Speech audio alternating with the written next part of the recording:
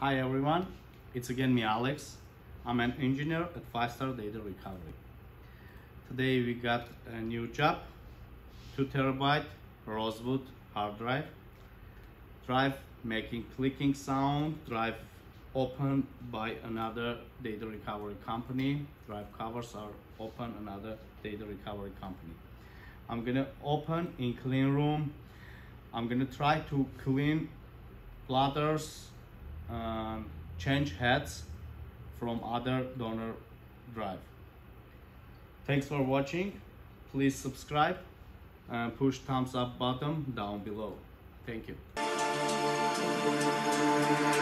you.